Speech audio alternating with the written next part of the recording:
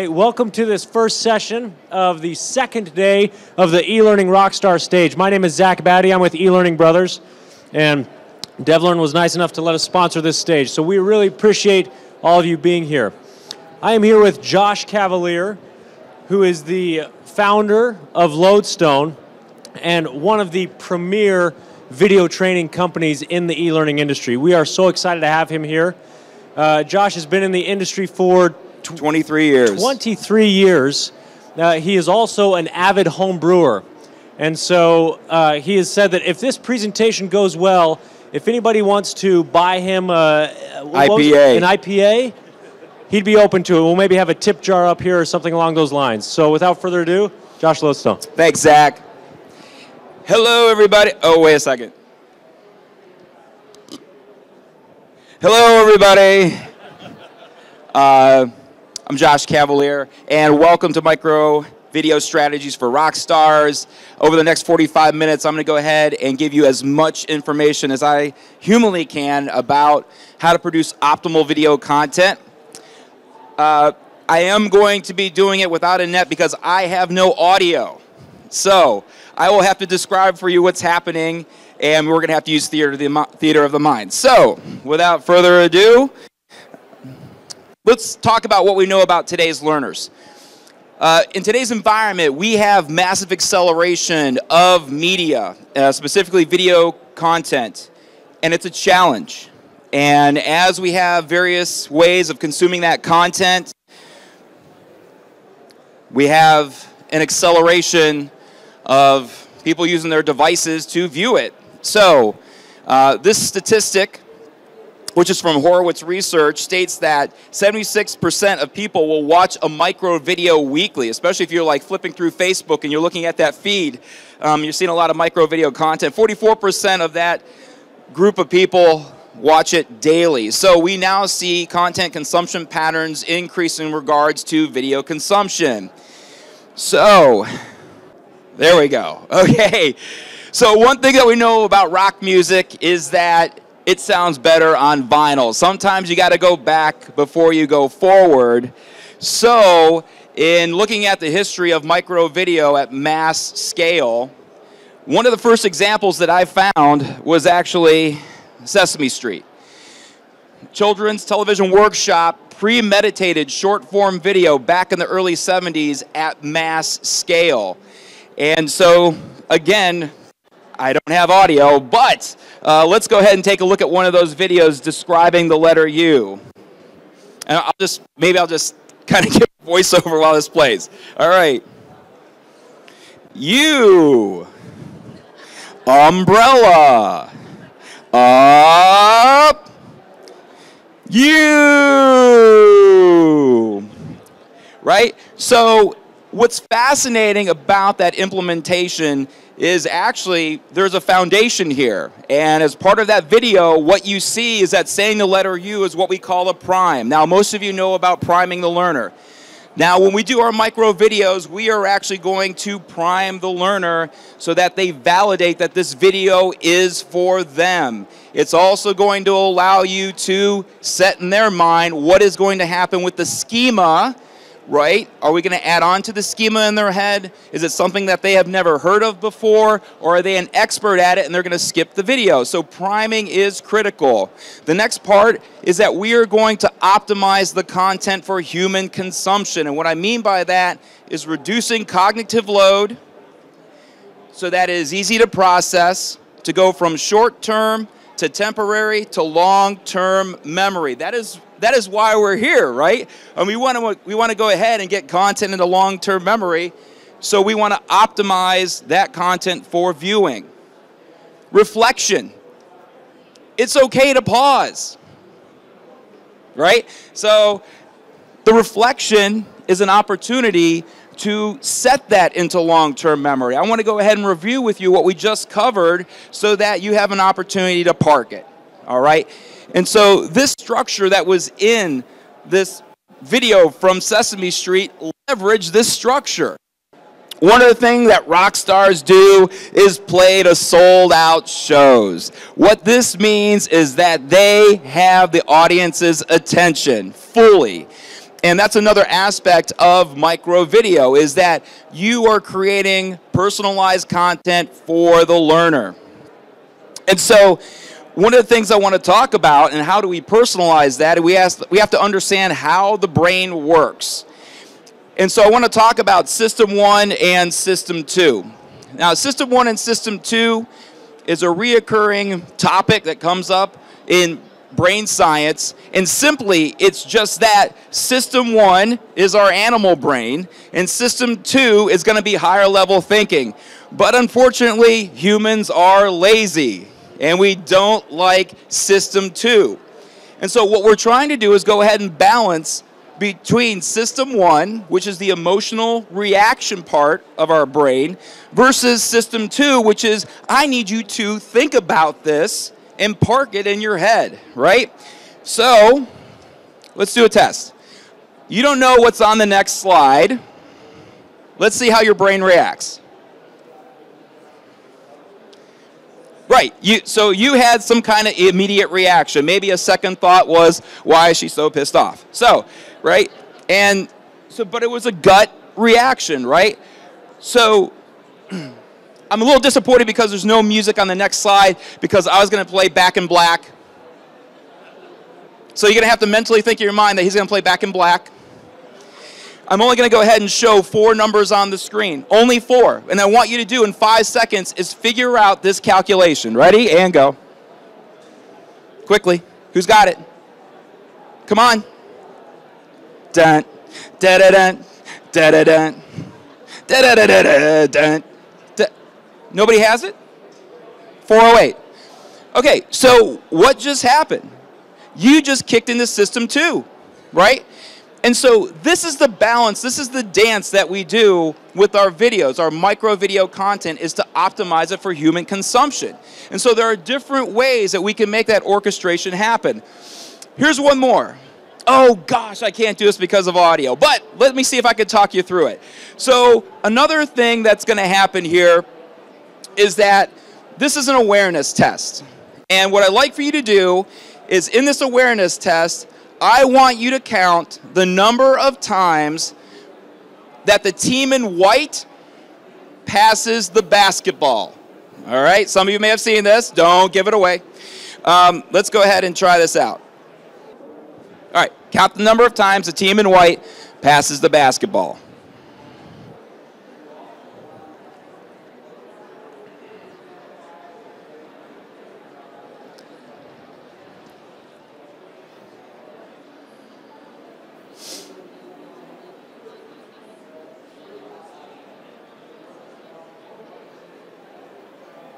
Okay, so the number of times was 13, but did you see the moonwalking bear?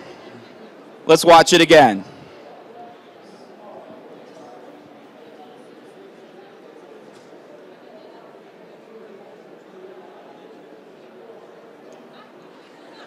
So what happened there is that your system, I know, is that crazy? Your system two was working and system one, which is right there in front of you, was it wasn't available. And so again, we want to go ahead and orchestrate system one and system two, and some of you already caught it. I put one subliminal slide in there. Uh, yeah, okay, so the other thing that I want to talk about, just kind of brain sciencey thing, is pupil dilation. So one of the other things that happens when people are affected by system one is that they it happens so quick is that the pupil remains intact. But what happens with system two, when you're thinking, uh, it actually expands, right? And studies have shown, and by the way, uh, if you get this deck after the conference, the empirical data will be in the notes. Okay, so I'm not just, right. Okay, so um, what happens is that if system two becomes too taxed, the pupil shuts and you give up. Okay? And so what's happening is I'm going through this presentation, like the AV stuff is going on, that's kind of jacking up my presentation. That's actually taxing your system two, and that's when you look at your phone and go, what else should I be doing, right? So um, we want to balance that out because if you tax system two during the course of a video, viewers will check out. We don't want to tax that, so we want to balance it out. And there we go. Okay, so another thing, and this is just fun stuff. Why we got to make it fun? Glucose levels. Is Julie Dirksen around here? Okay, so Julie, Julie will talk about this too. Uh, glucose levels. If you watch a video after you eat, you have a higher percentage of retaining the information. So there was a study done in Israel where judges were paroling inmates. And these judges had an average of six minutes to determine whether somebody was paroled or not. What the study did is that they looked at the percentage of parolees, people who were actually paroled, before and after these judges ate. And what happened is around 67% of these parolees got off after the judges ate lunch. And the reason for that is because their glucose levels were up and they perform higher system 2 functions. Before lunch, you start running out of juice and you kick back into system 1. So if you're delivering your micro videos and pushing them out, do it at times after people eat. All right. And also flow. So flow is where you're in a higher level state of thought but you remain at it. So you can actually be in higher level thinking, but it's so incredibly easy that there's no tax. You're, the brain's not taxed. And you can actually create videos to get people in a state of flow, which is actually pretty cool. All right. Sometimes when you're a rock star, you got to crank it up to 11. And what that means is that we want to go ahead and make sure that we're really focused in on our media. Let's talk about total cognitive load. How does this work? So um, we have intrinsic, which means that the stuff is just tough. We have extraneous, which is this environment that you're experiencing right now. And we have germane. So that's due to the individual. Really quick. So this is the work of Dr. Richard Mayer. And this affects the way that we produce our micro videos. So I want to kind of walk you through what the brain goes through as it's consuming content, in addition to System 1 and System 2. So we have text, it could be auditory, it could be visual, and then we actually have a visual image that goes into short-term or sensory memory. And then from there, the text is either heard in the head in an auditory fashion or visual. Now, it's up to you to it's up to you to determine whether you want to pay attention or not. Right? That's selecting. So, I mean, if this presentation was boring, you, you might be here, but you could check out and not pay attention, or you have actively have content coming in. Working memory. So you only got about 20 seconds, people, of this. If you tax people out, you're going to tax their system two, and they will not be able to remember anything else, and those pupils are going to dilate back down. That gives them time to organize the content into mental models, right? We want to get into long-term memory, so we're going to go ahead and have it integrate. You may take your pictures now.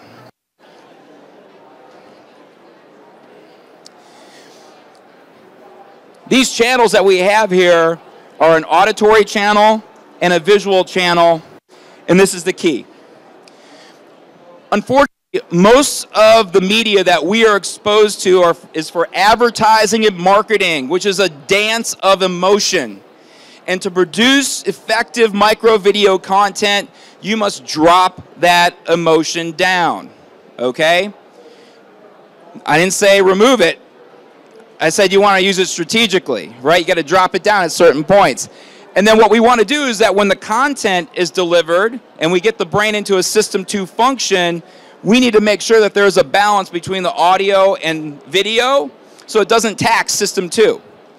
Right? And so what happens is that you see yourself watching these videos that have background music in it. You're like, I want to put background music in my training videos. And that's extraneous content. And it will tax system two, which will make people check out. And we don't want that to happen. We want it to be consumable.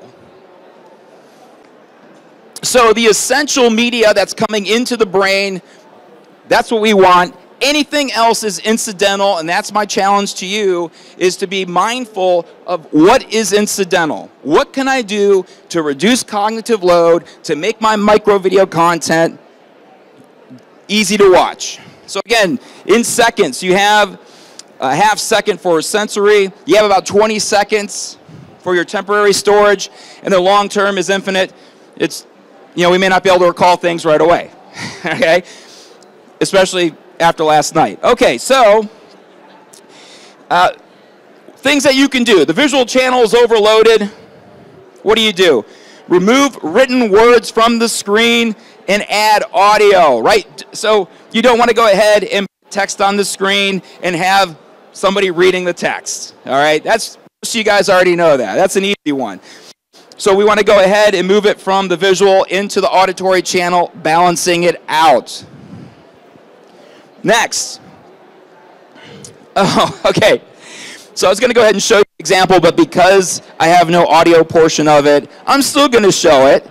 Because what, the, what this video is going to show you to do is how to add or install a plugin into EndNote, okay, which is just a software tool. So let's take a look at this, um, but without the audio.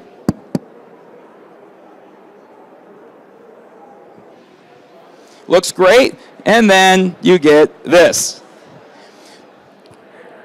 This is EndNote. Please go, right? I mean, immediately, where do you look? There wasn't even an audio portion, and your system two got taxed within five seconds. So we want to go ahead and simplify the screen, add visual cues, reduce the cognitive load, all right?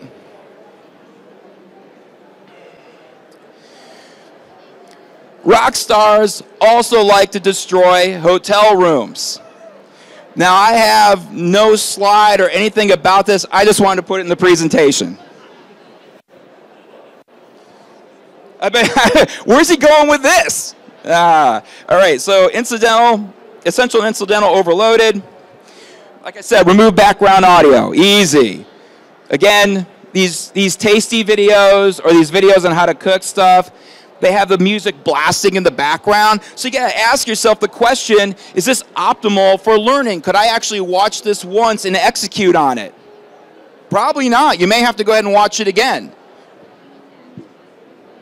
I'm not even gonna show it. You guys have seen these. Let's keep rolling. So if you have confusing visuals and spoken words, other things that you can do is like place the visuals near the action. All right?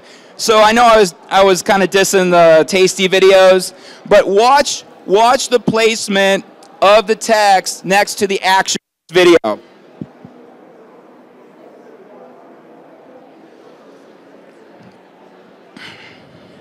Pizza dough. and I I'm really apologize because I know you guys have already tapped out on the hors d'oeuvres, so, uh, so I'm really sorry. Look at that. Uh, so that they just told you about the salt. But you see the placement of the text? In other words, you're watching the action. Your eyes are already there. Why not put the text in the same location? That reduces the cognitive load. Yummy. One other thing that you need to be aware of, that even if your videos have high cognitive load issues, today we have reverse modality. So reverse modality is the ability for me to go on my device and scrub back and watch it again and scrub back and watch it again. Back when I was in grade school, that was not the case. The modality was walk the cart into the room and then you get excited, start the projector, stop the projector, turn on the lights, discuss, turn off the light. You get the idea. So even if you have issues with your video, just the fact that the user is scrubbing back and forth is an opportunity from you from an analytics standpoint to see where the area of concern is at. And you can pull those analytics back. I'm telling you guys, that's essential, all right? I'm gonna get to analytics hopefully here. Um, but when you look at the view data, those points that users are scrubbing to is gold. If you do not have a plan for analytics for your videos, you are missing out on a huge opportunity. Okay? There are many video content management system vendors in this hall. Talk to them. Show me your dashboard. What are you tracking? Right? You gotta, you gotta get that information. Okay, let's get into it. What is my definition of a micro video in my world? That is 60 seconds or less. That's where I play. Is it possible to have micro video content that is longer? Of course it is. Is it possible to have multiple micro videos in a single video for macro content? Yes, you can. But just for this conversation, I want to go ahead and just play here at 60 seconds. So, when we're talking about consumption of a video, we are dealing with moments of learner intent. So typically your micro videos, your users want to know a fact, perform a task, make a decision, or follow a passion. They typically fall into one of these categories. Take a picture.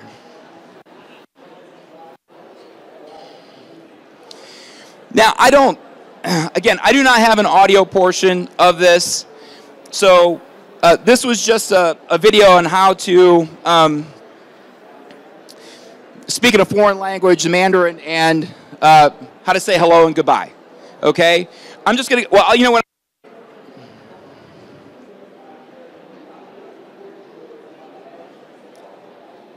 Cantonese, sorry, is it Cantonese?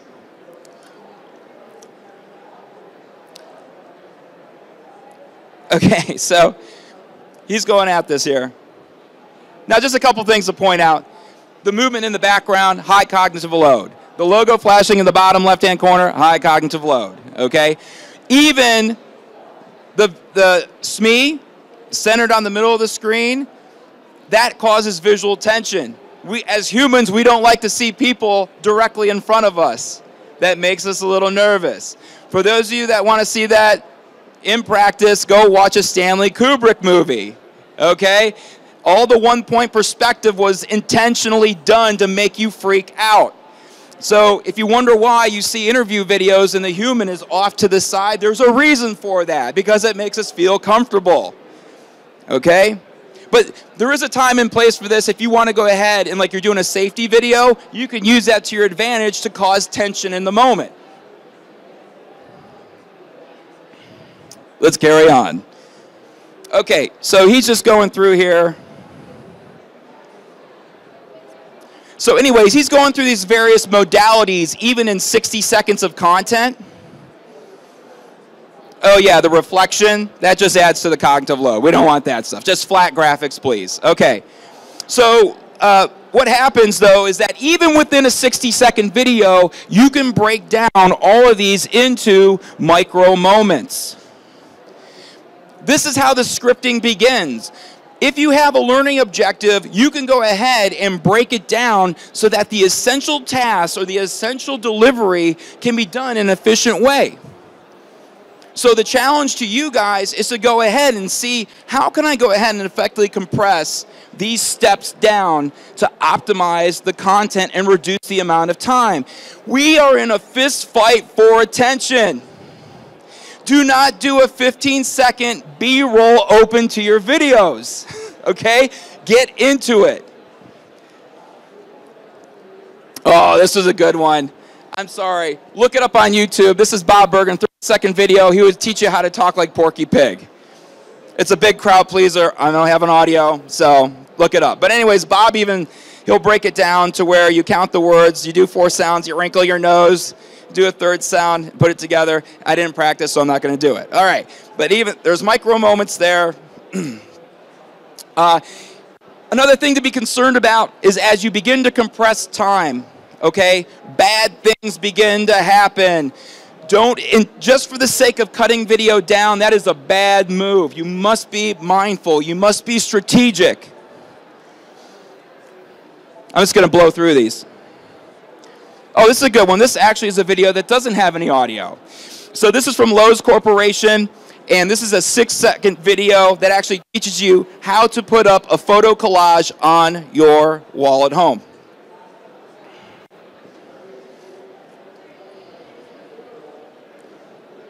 Oh yeah, right? That's so cool. And so yes, you can teach somebody a task in six seconds. This is like a glorified flip book, right? That's pretty cool. But even within six seconds, we have individual steps that can be done. So if you have old content, like paper-based content, and there are figures in that content, and you're looking to get it over into micro video content, this is a great way to do it. But be careful. As I mentioned, as you reduce your content, you can run into problems or misrepresent the information. We don't want to do that. So for instance, Lowe's also put out a video on how to replace a backsplash. Anybody do this? All right, yeah. Uh, because, uh, well, let's just take a look at it. Let's see how easy it is. So I'm just going to go ahead and um, just float this up here real quick. I'm going to put these spacers in and just do that and float it, and then uh, we're done. Woo! Okay, so I'm to watch this, and I'm to go back to my wife like, honey, we can do this. Let's do it. No problem. We're knock it out Saturday morning. We got this. So there I am. you know, I attempted this, and I found out that my kitchen wasn't square. Neither were the cabinets. And so like 12 later. So if you Sorry. Sorry. That was system 1. That was system 1. Uh, if you want to test your marriage, is a good way to do it. Okay. So so what, hap- what does happen when we get down to system one? Now, one of the other things that can happen is that even though something is a system one, you can actually put it in reflexive memory, meaning that if you hear it often enough, you're not going to react to it. You could possibly ignore it. So we have that kind of activity going on also. So it's like, uh, you know, folks that live in the city, like in New York City, a siren, right? But if I was out in the country, I'd perk up pretty quick. You get the idea. So, oh, and I can't do this here because I doesn't I don't have audio. Essentially what it was is that you're going to get an emotional reaction. I will still give you an emotional reaction with no audio. Okay? So let's take a look at these.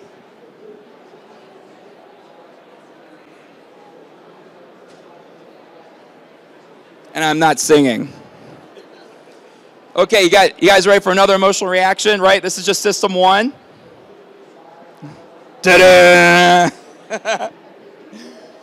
yeah, I mean, immediately you had a reflexive response to that stimulus because you've experienced it before. Maybe not Adele or maybe not Star Wars for some of you, but for those of you that did, you emotionally had a response. We want to leverage that as educators. The only thing you can do in the first five seconds is elicit emotion. System one. Okay? And we also want to go ahead and not abuse it. What I mean by that is say, so let's say that we are going to leverage micro video content within our instructional flow, and at the end of a knowledge journey, we want to create performance support videos that are going to get pushed out using one of these wonderful systems that are out here for mobile delivery. Why would I put emotion at the beginning of those videos when it's a follow-up training event? They're already bought in. They just want the information. I don't have to go ahead and give them a musical interlude or a, an intro at the beginning of that video. So I would remove it, right? So it's not every video you're going to leverage emotion. Sometimes you just want to get into the information. Now, if a viewer is coming in cold, meaning that they're doing a search and they're coming right into it, you're going to want to go ahead and leverage emotion. All right. Now, the moment of truth for a creative unit is the first five seconds. In the previous lifetime, it was the last 10. This is Drew Panayiotou. He was a former Best Buy's chief marketing officer. This quote was from like six years ago. They even knew in marketing that these devices, these mobile devices, you have 10 seconds, folks. If it's not personalized and it's not for you, and you know it, you're out. So you're going to have to go ahead and when you create your micro video content, make sure you check the personas and do your audience analysis. All right, let's get into some formulas. This is the base formula that my company uses when we go ahead and we, we engage our clients for micro video. So the first part of it is emotional pull. So emotional pull is what you guys experience as a system one function to where we're going to orchestrate that first five seconds to pull people in. Now, what will happen is that over time, persona data is going to be collected off your users, and that is going to be auto-generated by an AI stack. But until that time, you have to create the content, okay? The next part is the prime. Now, a priming statement would be something like, hi, I'm Josh Cavalier. Let's take a look at how to create a micro video. That's a priming statement. So a priming statement is getting yourself in the ready position. You're getting the brain in the ready position. How am I adding on to my schema? Have I seen this before? No, I'm adding on to my schema. So getting into the ready position. It's also like during this presentation how I kind of, you know, like, oh, coming up next, right, is a multiplication problem. That's priming. The content. We want to go ahead and create a very low cognitive experience that we shift the user from system one to system two so that they are in a higher level of thought. But it is optimized for consumption, and we do not tax cognitive load so that when they are using System 2, they're in a state of flow, right? If you tax System 2 and there's too much cognitive load, the pupils dilate back down, they check out, and they are now in a passive consumption. Passive consumption. If they make it through the content, at the end we have a reflection which is that moment where you revisit what you just covered to give the opportunity to take it from temporary storage into long-term memory. And that's how you create a micro video, right? So that would be a reflection. Emotional push, I haven't talked about this yet. Emotional push is a call to action. It is the send off. It is you want to take emotion and you want to jack it back up to get people pumped up about maybe watching the next video in the series or to go ahead and this new knowledge that they have gained to apply it in the work area, right? So we can leverage emotion off the end as a send off. It's not required all the time, but if they're coming in cold on some content, you can leverage it appropriately. Now, has anyone ever heard of this? Monroe's motivated sequence? It's kind of out of our flywheel. So this is used in advertising and marketing. This is the structure of a 30 second ad. You see the correlation? Right? We're just advertisers of knowledge. okay? And so what we have here is gain learners' attention. Oh my, that's Gagne, right? Gain attention. Then we identify the need, satisfy that need visualize a solution, and then the call to action. We are just tweaking advertising for knowledge. And the key here is the orchestration of emotion. During advertising, they will mess with your mind and get you emotionally tied through all the way so that the call of action is implemented. We want to knock that emotion down so that we can go ahead and allow users to think about what they're consuming in an optimal format. One of the tools that we use when uh, with our clients that are not familiar with creating micro videos is something called planning blocks. A planning block is an item in a video that potentially can have a high cognitive experience. For instance, we discussed a headshot, and with a headshot, if it's straight on, that could increase the cognitive load, and so on. So each of these blocks can potentially have a low cognitive experience or something that is high. So also notice that we have a video and auditory channel, so we try to balance that out. And simply all we do is go ahead and set up the blocks and see if there's a potential high flow situation, all right? This is just an exercise. Typically after using these blocks for a few months, they don't use the blocks anymore. So if you have a series of 60 micro videos that you're creating and you're premeditating and thinking about the architecture, you use the blocks as a tool to verify and validate and go through checklists whether it's a potential high cognitive load. Now, when you do it enough, you will know just by viewing or hearing and viewing the content whether it's a high cognitive load experience, okay? So this is a tool that we use just to start out with. And you could also use, I challenge you to try this. Try to do a block and see if um, you know, what you're creating is a high cognitive load. So that's how we would do the map, okay? So in this example, we have the title sequence, we have a headshot with a voiceover and some music in the background. We then carry the voiceover over to a title sequence for the priming. Hi, I'm Josh Cavalier. This is how you create a micro video. The content, we have a, a screen recording with an animation, a voiceover, and a sound effect. You think there might be a potential for a high cognitive load experience at that point? Darn tootin'. Because um, about just a number of blocks, you can see what's going on there. And then we have the reflection and the emotional push off the end. We cool? Getting that? All right, so I got five minutes. Now, what happens? Uh, let me go back.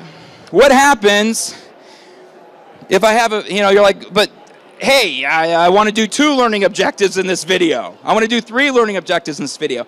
That's fine. I'm not, again, I'm not telling you guys to go ahead and create 60 second videos. That's not the key. If you're able to get your if you're, if you're able to get your viewer in a high state of flow, you can go for a longer period of time. But we want to orchestrate it. So in this example, let's say we have two learning objectives. And what we're going to do is go ahead and use a transitional emotional pull push. That's when we actually bring the SME back on the screen. So the first part is we'll take a look at a priming statement. Let's now take a look at how to produce optimal content. That's so I'm taking you and I'm concluding one learning objective and then emotionally pushing you towards the second, right?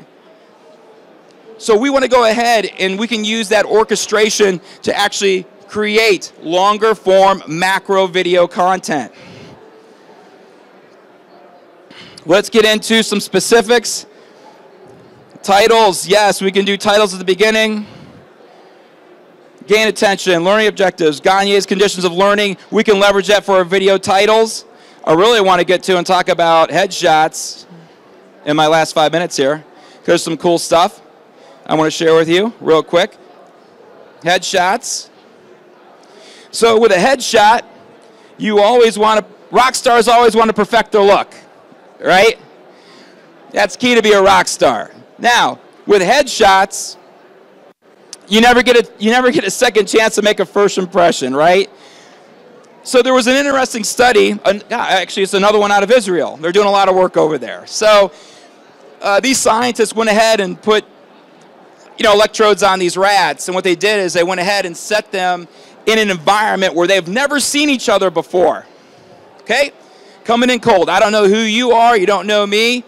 And what they found out is that when you don't see somebody for the first time, and you look them in the eye, your theta increases. Now, if you do a little bit of research on what the theta waves in your brain do, they essentially get you in the state of learning. You're in a ready state, but it's positive. I mean, you can have negative situations with theta, but it's positive. So having a human on the screen is advantageous. But then they put the rats back together over and over and over again. You know what happened? Theta dropped. It wasn't as exciting. I've seen you before. That's the reason why, if you're using SMEs, you want to change the background, change their clothes, different locations. You'll begin to increase theta again. Think about rock stars or pop stars. What did Madonna do during her career? Did she look the same? Nope. She changed her look. Wow, Katy Perry cut her hair. It is now blonde. theta goes up, right? So theta elicits positive emotions and increases cognitive process, which allows us to learn. I am all about having the SME on the screen strategically. Couple minutes. Yes, so we talked about head on, we want to go to this side, and also just from a creative standpoint, you can go ahead and put additional information on the screen. Now, what about this? We see this a lot. If anyone watches Twitch TV or has kids that are watching people that are playing video games, to where you have the instructor simultaneously on the screen at the same time as the information is up there, I personally, uh, it doesn't jive for me. We actually, at Lodestone, we toggle back and forth between the SME and the slide and do things like that. But, you know, I, what's the data? Are you just making it up? No. There are, I hope there is, we're going to skip that. There's studies out there on this. So a team actually went ahead and did an eye tracking study and there were a group of people were presented baseline information that was then tested against whether you know whether they paid attention on. So they took a test after consuming this information. One group had the person on the screen, another group did not. What happened? Well, after the eye tracking study, it's obvious that people were looking at the face. But the results of the test were inconclusive. They tested out the same. So you're going to have to make your own decision how you want to handle it. Again, my personal preference is to toggle back and forth because I believe it reduces cognitive load, but the, the study was inconclusive. All right? Okay. My time is up. Uh, again, my name's Josh Cavalier with Lodestone. Um, if you want to go ahead and discuss further, I'll be hanging out here for a few minutes. But again, thank you so much for spending part of your day with me. I wish you all the best, and we'll catch you down the road. So, everybody give a big hand for Josh. Wasn't that great?